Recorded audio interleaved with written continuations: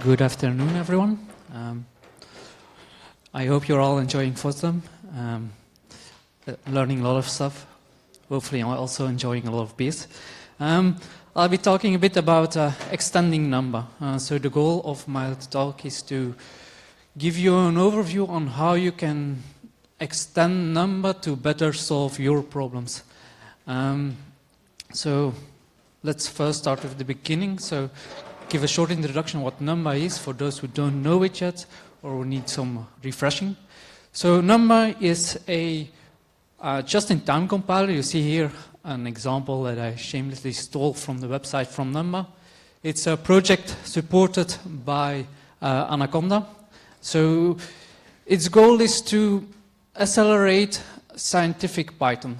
Um, so you see here, this is basically how it works. You have a decorator, just-in-time uh, decorator. It says no Python is true, which means that in the generated code, um, no Python is involved. So no Python, the, the Python interpreter is not called. Um, what's, what's nice about Numba is that it has very good uh, NumPy support. It is also able to generate code for CUDA.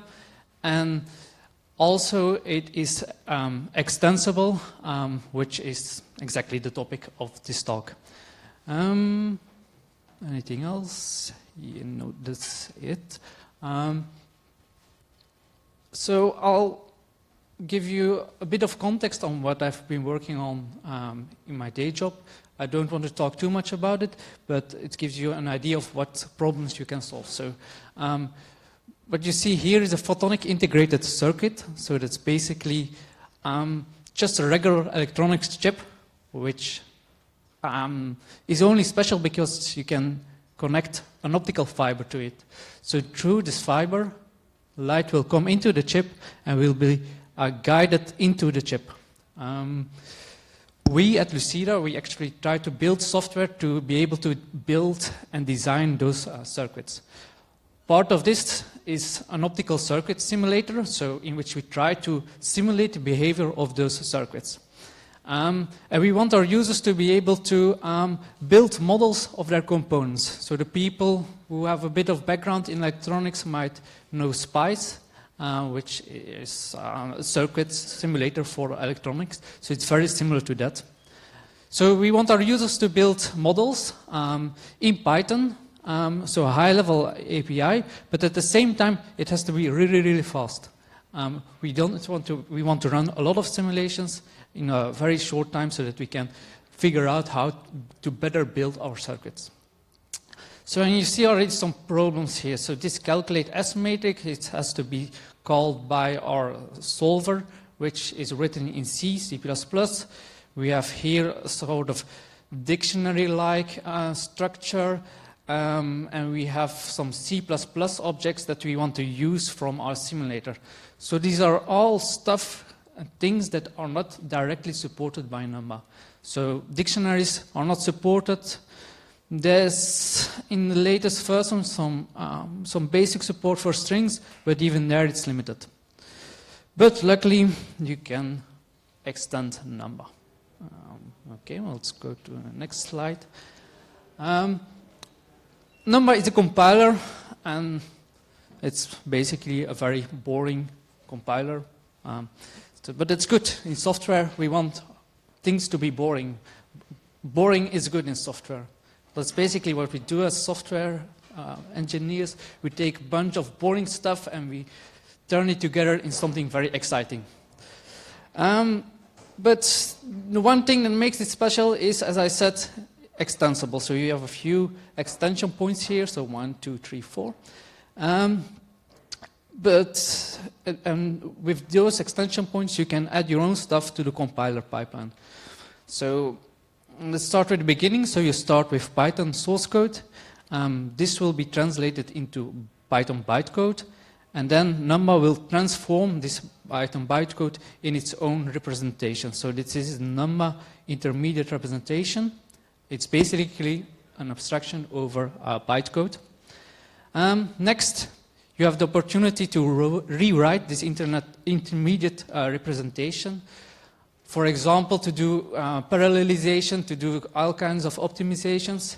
and you can add your own rewriters. So then the next step is um, type inference, where you can also add your own types and do type inference of your own functions. Then you have another opportunity to do another rewrite phase, but this time with the actual types. And then when all that is finished, you can actually get to the point and start generating um, the code. So that it's important to remark that num, uh, a Numba does not directly um, generate machine code itself, um, but it generates LLVM intermediate representation, which um, is taken by LLVM to actually generate uh, the, the, machine code for your, um, for your machine. Um, okay, so also there in the um, in the lowering phase, you have the possibility to add your own stuff, so you can add uh, custom data models, custom uh, code generation. Um, so, and after that, you have very fast, uh, near native speed of your Python code. So I will now go to a bit more detail of all those extension points. Um, let's start with the beginning. So I was talking about the rewrite phase. So um, likes um, decorators very much, so this is basically how all the extensions work. So you, here we say, okay, we want to register our rewrite, um, um, and we say, okay, it's before inference. As I said before, you have a step, a rewrite step before inference, before type inference, and then one after inference. Basically, a rewrite consists of two steps. So you have a match, match where you're going to look for the expressions, the statements, the instructions you want to uh, replace. And then when you return true, the apply method is invoked, and in that phase you can actually replace the function block of uh, with a new one in which you do an optimization, for example.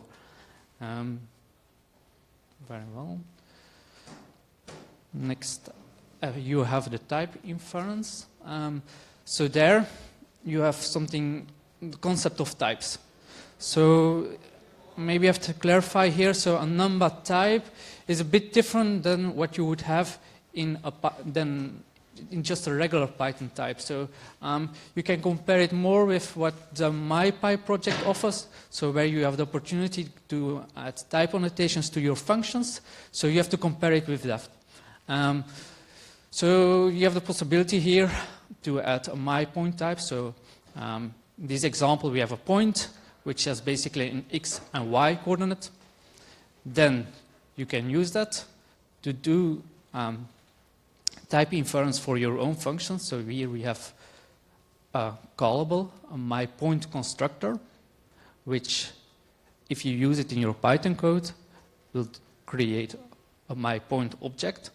Um, and this type callable is basically going to say, okay, I want to infer the types of my point constructor. This is going to generate your typer. And for given x and y argument, you want to say, okay, the return value is going to be of a type my point type. That's basically how it works.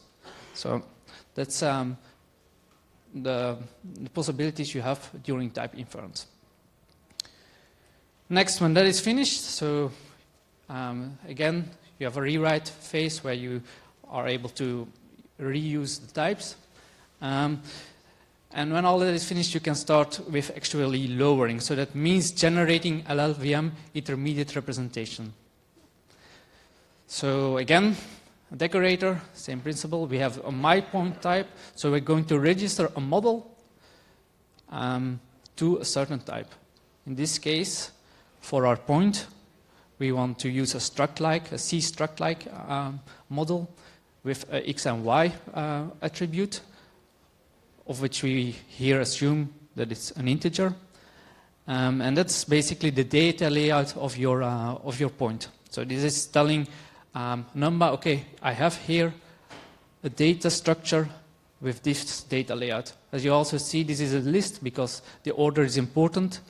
Um, and then this information can then be used when you're going to actually lower the implementation of your callables. So as you said, as we had before, we had our myPoint constructor, which takes two arguments. So we have an integer argument, the x, and then the y. Um, so the lower_builtin is a decorator to say, okay, I have um, a, a, callable that I want to lower, I have an instruction that I want to lower. This can also be a set attr, a get attr, an addition, um, basically any operation. Mm. And you're going to say, okay, for this particle signature, this is the implementation uh, of the, the, the, the, LLVM code. But what is important is that for LLVM, uh, for Numba, you're never ever going to, or very rarely are going to generate LLVM intermediate representation yourself. So what makes Numba very nice is that you, they provide a lot of functionality to be able to um, easily generate um, LLVM intermediate representation. So this is a nice example. So as I said before, you have um, we, we had the, the point which, for which we use a struct-like model.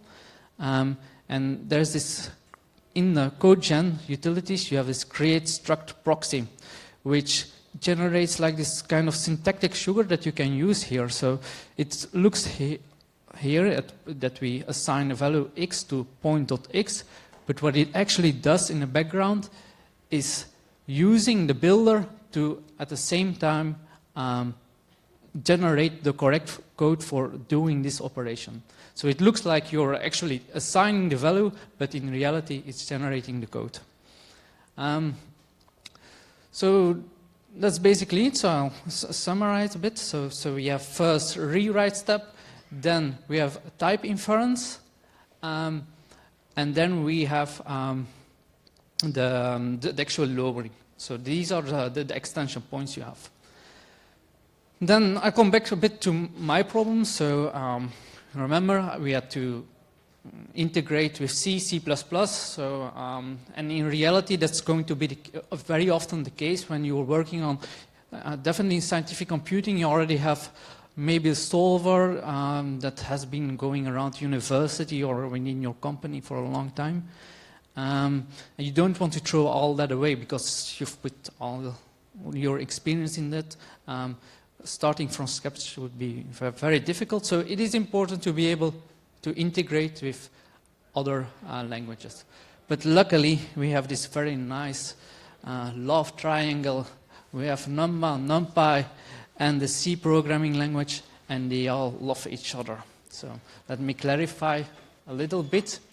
So for the people who don't know about uh, NumPy, um, internally it stores its data as a C contiguous array, uh, which means that you can access this from C and do all operations from C as well. Um, and there's this very nice library, the C-types library, which you can use to generate pointers to that data. Um, okay.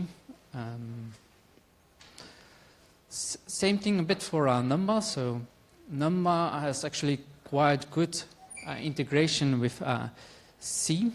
Um, so the C array, for uh, construct, for example, it allows to wrap a C array and pretend as if it was a NumPy array. So that means that you can apply slicing, um, use all the NumPy, uh, the, the NumPy operations to be able to use a C array as, as if it was a um, a NumPy array. So it uh, works actually pretty well. Then we have the cfunc decorator, which is very similar to the just-in-time decorator that you typically use when using Numba. Um, but the, the, main difference there is that you have to upfront provide the types that you want your uh, function to invoke with. This means that at that time, when you use the decorator, it's going to be uh, already compiled to machine code, and then you can get back an address to the actual code that is uh, underneath. So you can, bet, can get back uh, a pointer to the actual uh, uh, address in, in your memory where the function is located. That's very nice because now we can take that pointer, give it to a simulator, and call the, the, the, the generated code from a C program. So that's basically what we also do in our solver. So we pass um, the, the pointer uh, of the function generated by Numba to the solver. We also pass um, the, um, the pointers to the C++ objects that we want to call. We wrap them, and then using CFFI, we are able to um, to call the uh, the functions from our solver itself. Um, so that's basically how it works. Um, of, also, of course, C, you are able to call numpy, numpy, Numba um, using the Python C API. Okay. That's it. Um, yeah, I've also prepared examples. They are on the website.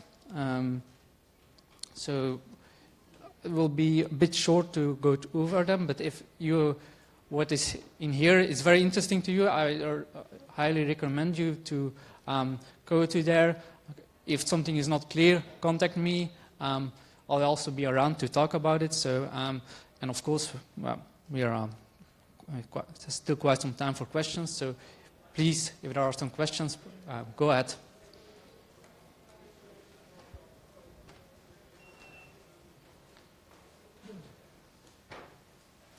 No questions?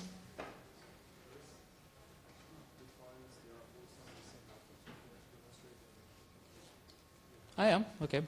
Um, I will probably not be able to run on this computer, but... Um, they probably won't run now, it's just, it will just the code. hmm? So I, I don't know if you can just show without... Yeah, yeah, so it's fine.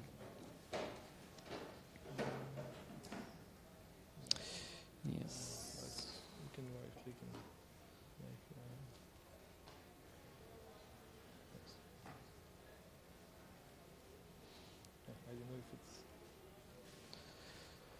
So this is basically the, an example of the, uh, the rewrite. So as I said, so this is a very, very unuseful example, obviously, but so we have here a very meaningful variable that we want to be replaced. Um, so as you see here, so you have the function block, uh, and you can search for instances of a assign expression. So this is an assign expression.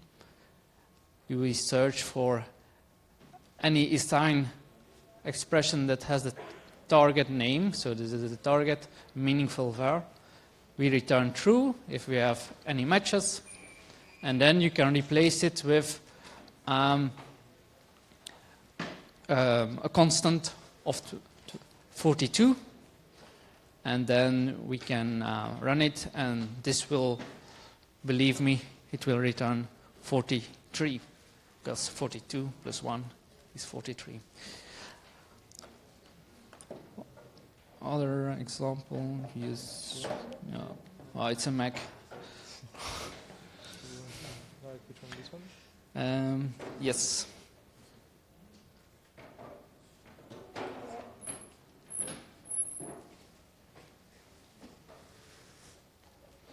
So this is an example of the, so the, the, the point, basically the point example that I also explained during uh, the presentation. So we have here our my point constructor. So it's a my point. Um, uh. So uh, with uh, x and y, which are supposed to be an integer. Um, here we have the Python type to that corresponds with this, uh, the, the Numba type, sorry, that corresponds with the my point constructor. This is a typer I was talking about. Um, and then we have oh,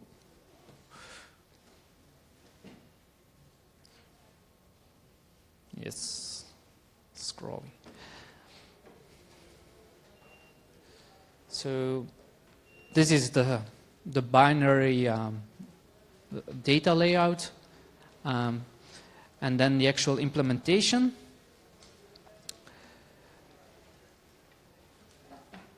Um, when you only do that, so this is something I didn't talk about yet, but so you are actually at this point you can do very little with your point. So we basically okay you can create a point. It will be allocated in your memory. You can add it to a list, and then you can return the length of the list. That's obviously very not very useful. Um, but the, what you still need to add um, is like support for getting the attributes. So this is basically here something I didn't explain during the presentation, but um, you can use something like a template, which uh, allows you to do inference for the attributes and also other uh, instructions. So it's basically here if my attribute name is uh, either x or y, I want to return a type of integer 64. Um, so, and then I can again lower this. So for this instruction, I can generate again bytecode, use the create struct proxy, um, the same way. So I do a get attr on the actual struct, and this will, using the builder, generate the LLVM code. And then you use um, um, you use the um, utilities from uh, to say how it should keep track of the memory. Um, so that once you've done that, you're able to access the attributes of your point. Um, so it will create using the lowered. Uh, yes, there's a question, please. can you also use a, a structured uh, types for your field or a NumPy array for, for instead of integers? So the question was if you can use um, structured uh, data structures for your um, for your fields. The answer is yes. So um, there's actually uh, on the the Numba documentation there are some examples, or at least in the development branch of uh, the the latest versions of Numba there's some uh, uh, explanation on how you can make records uh, and use um, so use new types. So basically, you're able to use any type there. Um, and um, because Numba supports the NumPy arrays, so it has a lot of inbuilt um, types for NumPy arrays, uh, also for CFFI. Uh, it has uh, native support for CFFI, so it will take the CFFI uh, representations, turn those into native um, Numba uh, types, so that it's all able to directly uh, work with, um, with those uh, types. Yes, another question there at the back.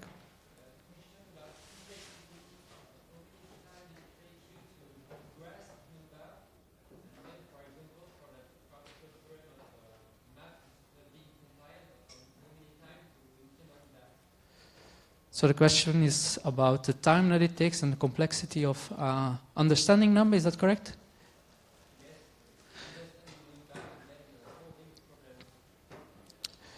Um, well, I'll be honest. It took me a time to figure out how Numba worked. So it's one of was one of the reasons why I wanted to talk about it today. So. Um, definitely, the, so the last half year they've been um, putting a lot of effort into documentation, but before um, there were documentation on this was sparse. So, um, but what is very nice about it, so Numba uses all this also to implement Numba itself. So, which is also always a very good idea to, to, to build your and use your own stuff to build your own stuff. So, um, so that means that you can look at the code. So, as when I was talking about the NumPy support, um, it's advanced uh, because NumPy is uh, quite a complex thing, so building a just-in-time compiler for it will take uh, a lot of time.